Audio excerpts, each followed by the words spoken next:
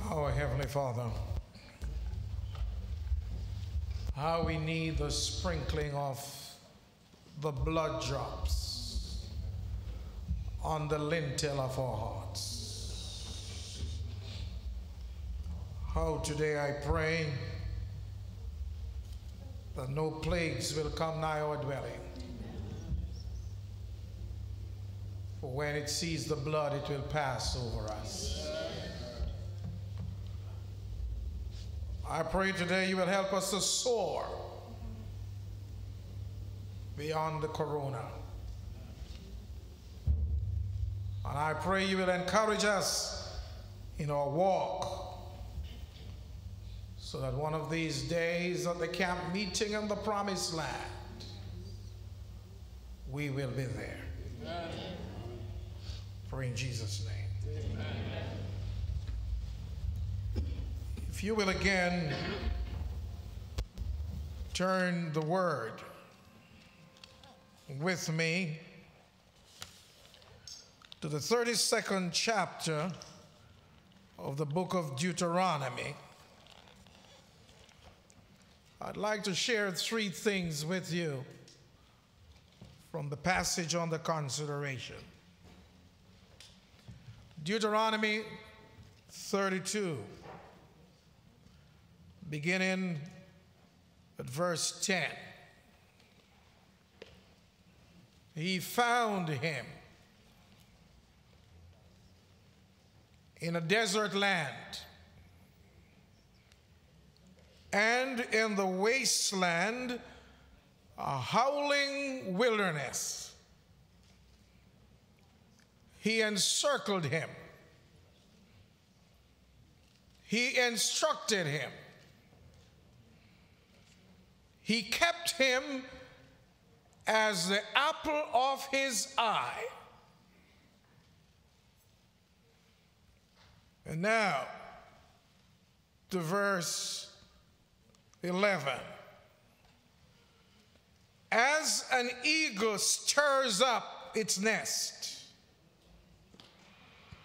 hoovers over its young, spreading out his wings, taking them up, carrying them on his wings. So, the Lord alone led him, and there was no foreign God with him. He made him ride in the heights of the earth, that he might eat the produce of the field. He made him draw honey from the rock, and oil from the flinty stone and the people of God say, Amen. Amen. If you are a chicken, this message is not for you today.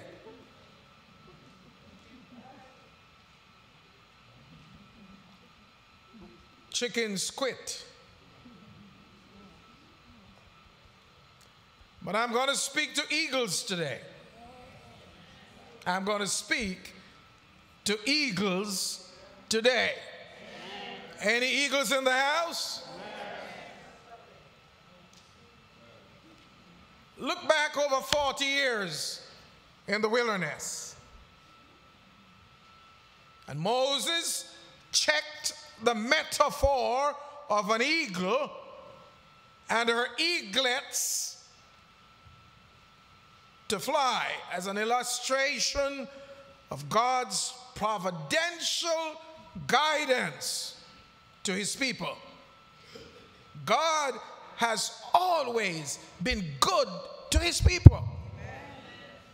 The Lord gave him through this metaphor a message to show humanity that we serve a God of power, a God of might, a God of provision, a God of protection over his people. We don't worship foreign gods. We worship Jehovah God. Exodus 19, verse 4 says, You have seen what I did to the Egyptians. Talking to Moses.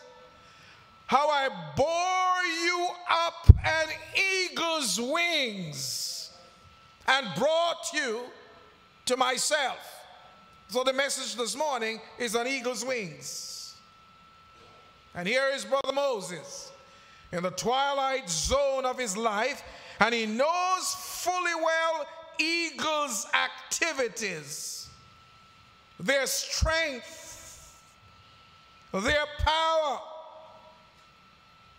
And if eagles can do what they do for their eaglets, God can do for us exceedingly abundantly beyond that which we can even conceive.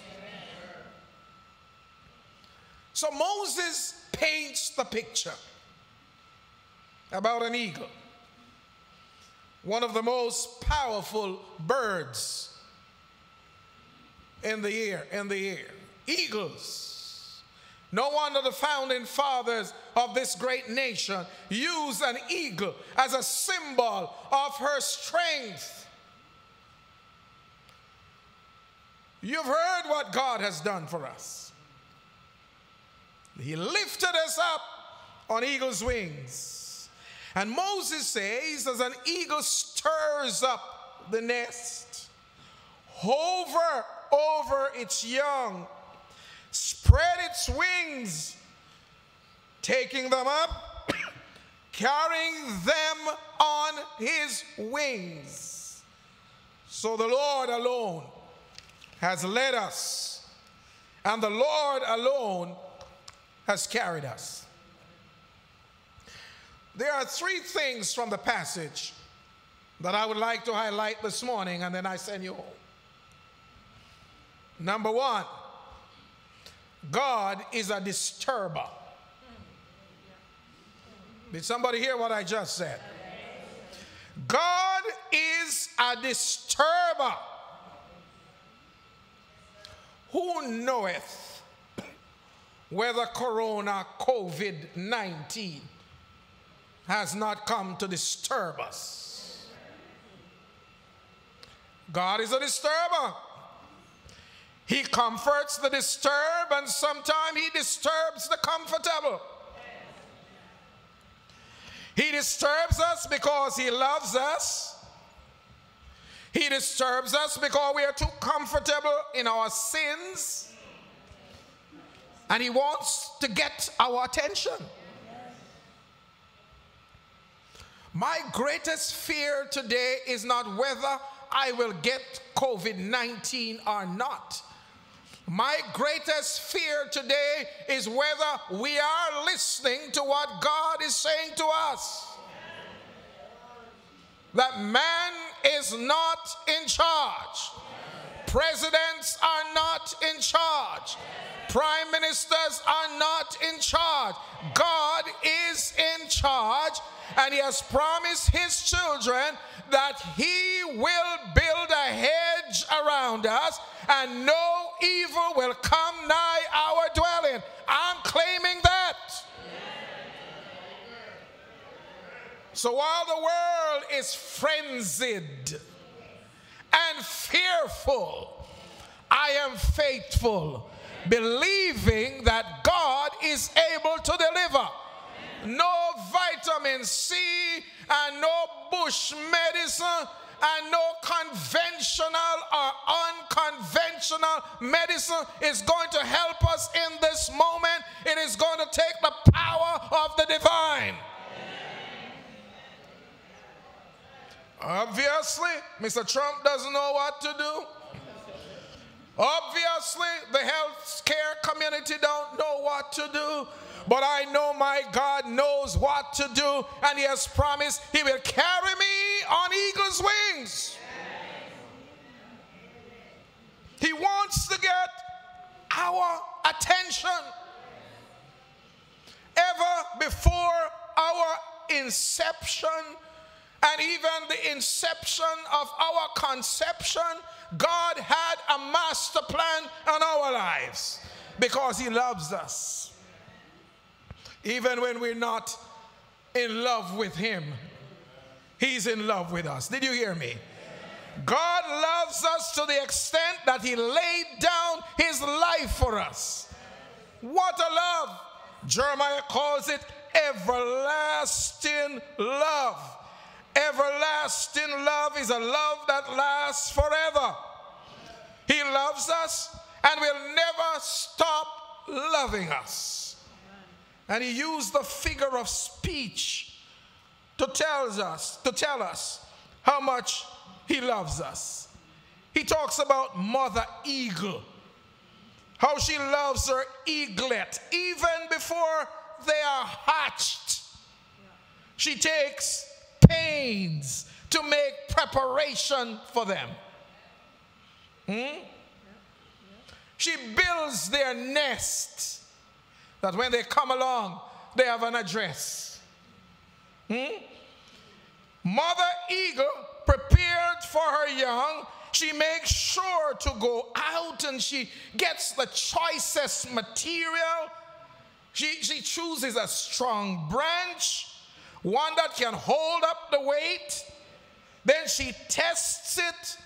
And listen, when she tests the branch and the branch passed the building code, she starts to populate it.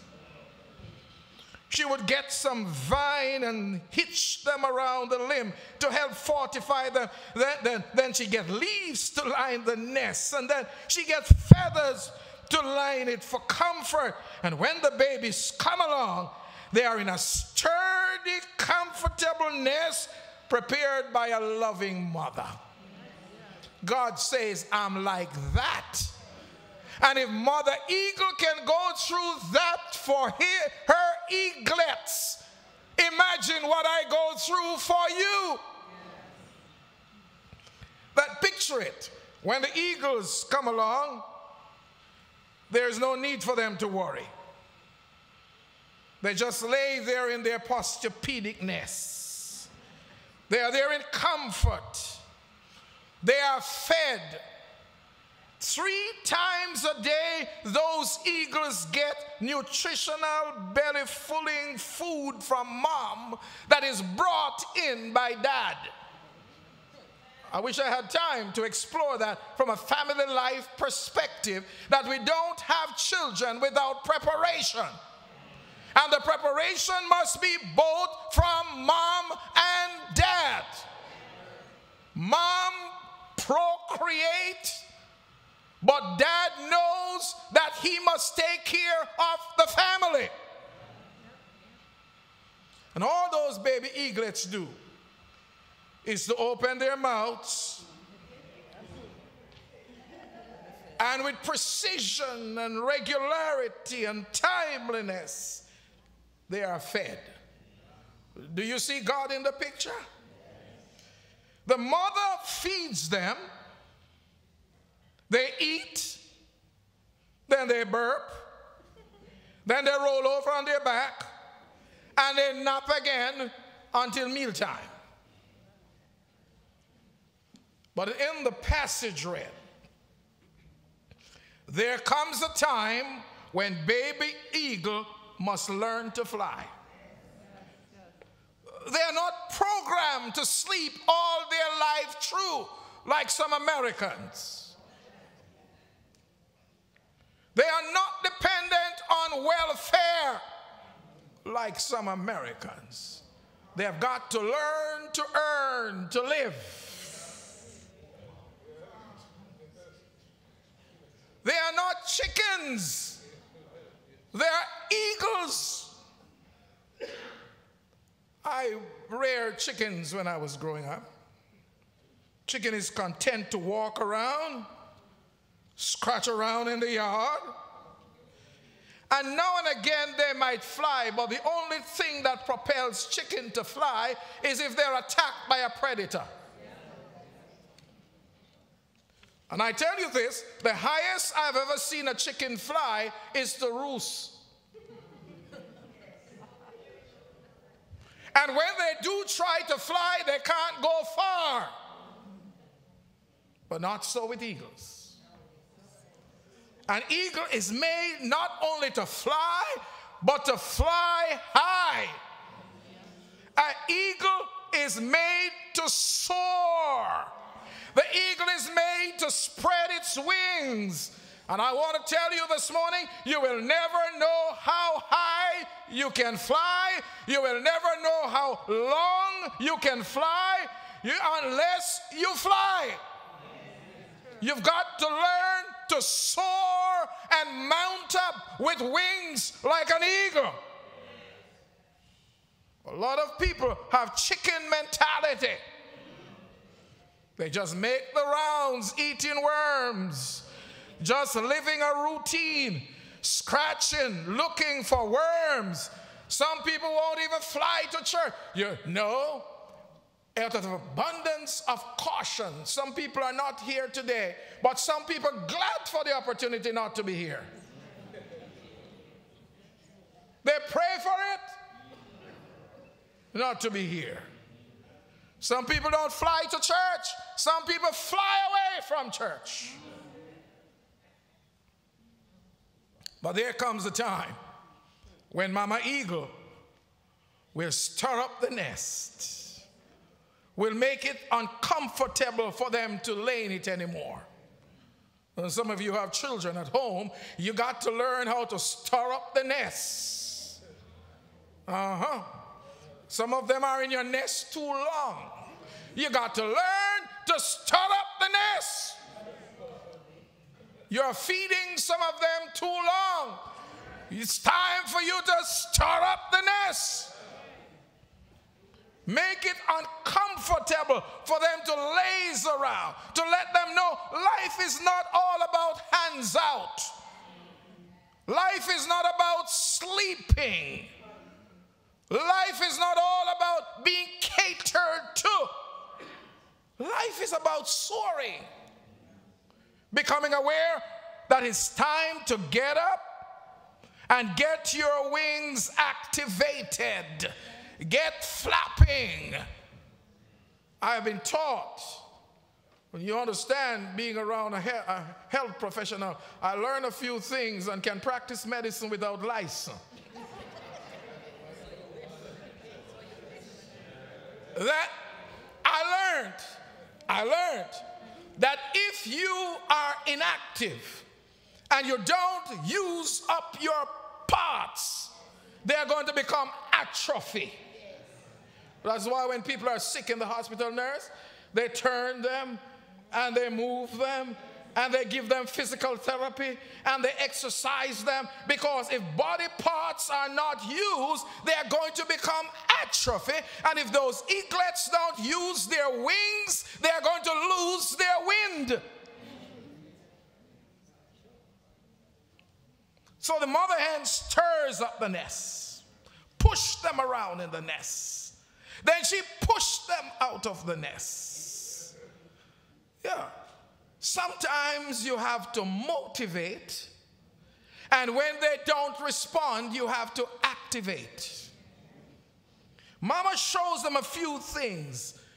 She shows them a few flaps. It is always good for children to learn through modeling. Don't expect them to do what you don't show them to do. Don't tell them to go to church when you don't come to church. Don't tell them to live for Jesus when you are living carelessly. You've got to learn to model, to educate, to edify, to entertain, so that they can learn to wing it on their own and move on. The eagle does that for the eaglet. She gives them a lesson uh, in self-start program so they can learn how to do it for themselves if only they will try. So mama pushes and she flies around and if they don't respond, she pushes again and if they don't respond, she takes her wings and I understand a good eagle, mama eagle, has a wing with a wingspan of up to 10 feet and the wings are very powerful.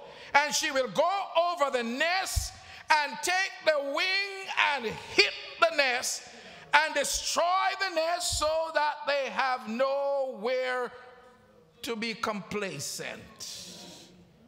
So they have to develop compliance and cooperation and confidence and faith that works and works with faith.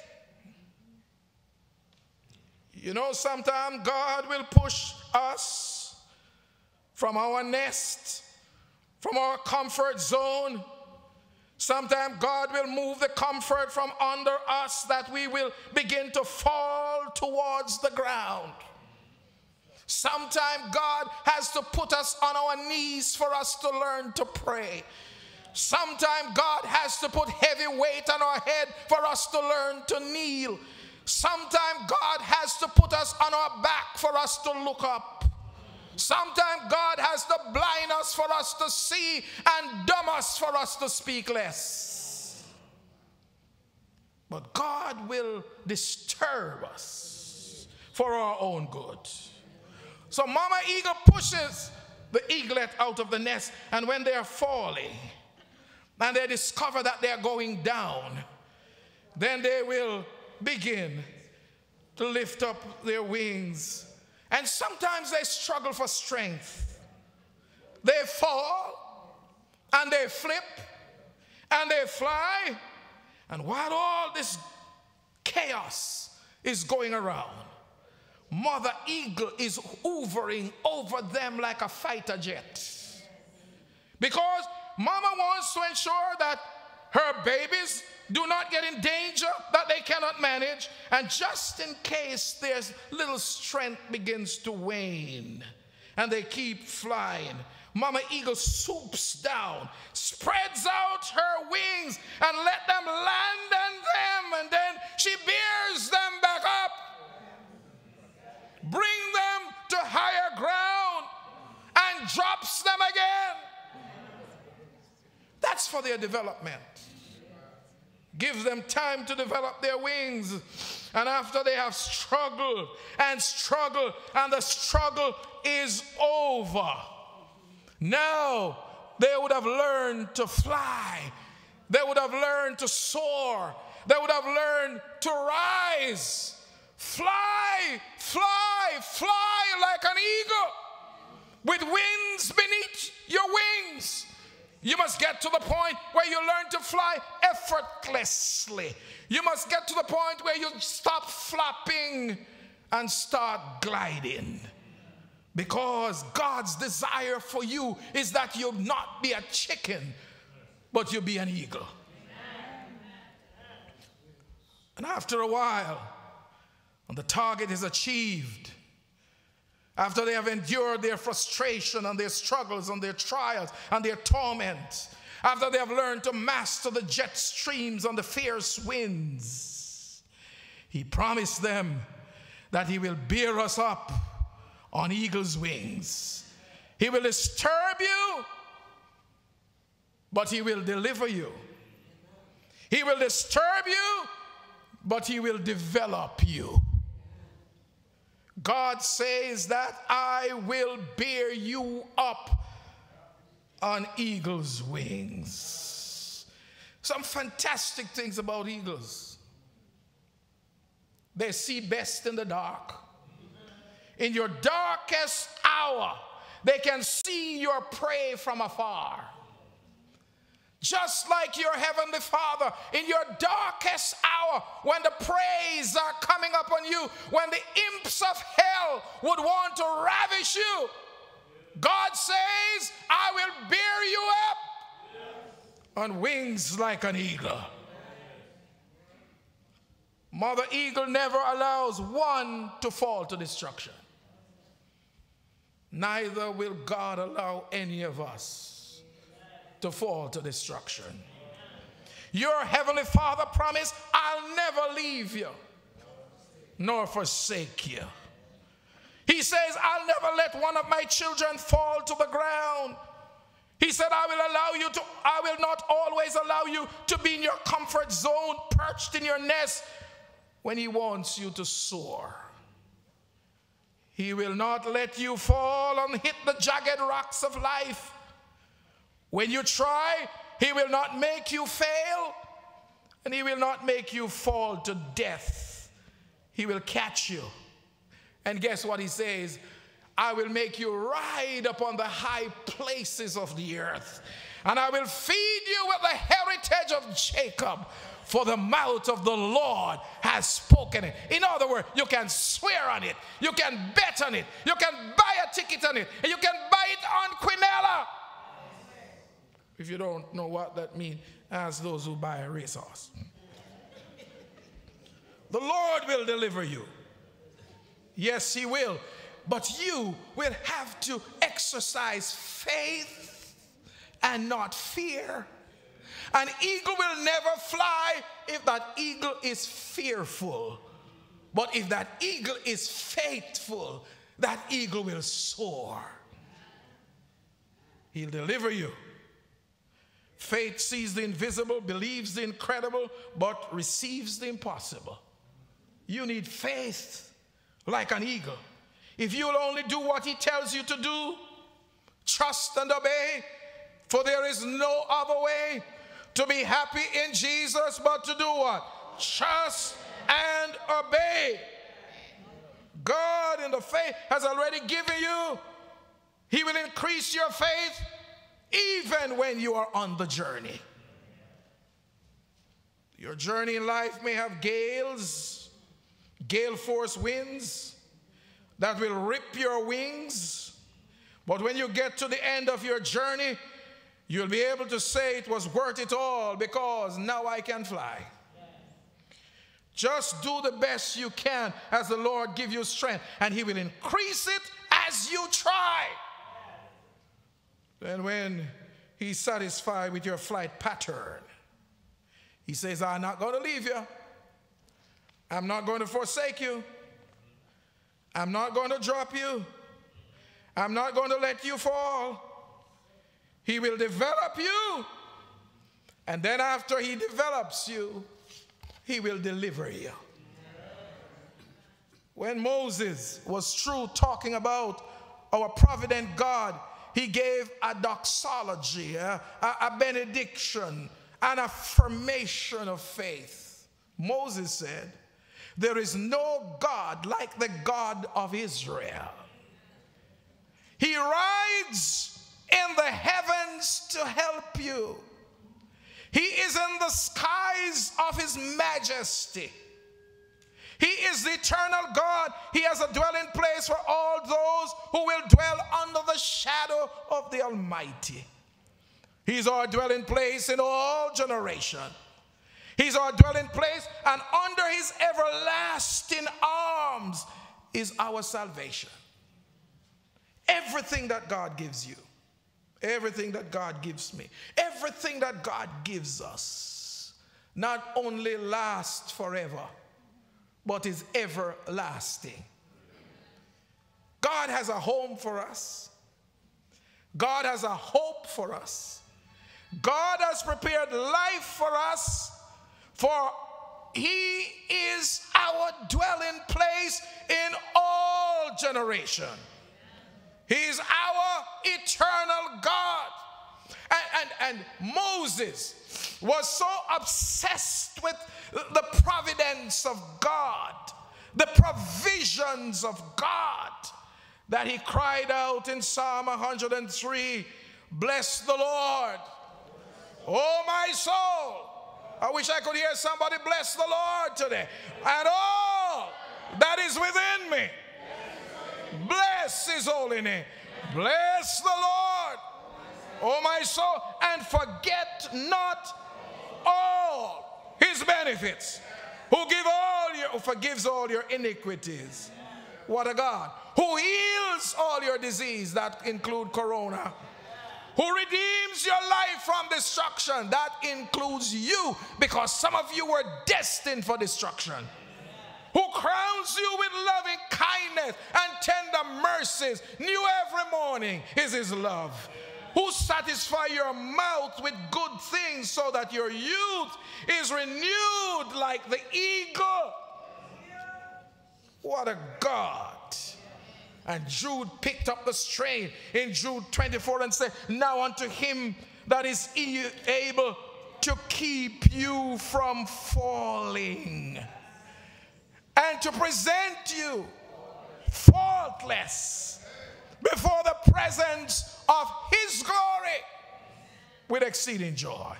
And he said to the only wise God, our Savior, be glory, majesty, dominion, power, both now and forevermore.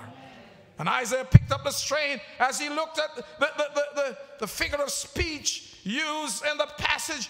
Isaiah says in chapter 40 and verse 31 They that wait upon the Lord shall renew their strength, they shall mount up with wings as eagles. They shall run and not be weary. They shall walk and they shall not faint. I have come by this morning to tell you that deliverance is not only near, but deliverance is here. Here, if we'll trust Him. Here, if we'll keep flying. Because God has made it possible for us to soar like eagles. And I hope when you leave here today, you will remember that now I can fly. So leave church today and go home flying like an eagle because eternal God is still your strength. And under his wings, you can safely abide.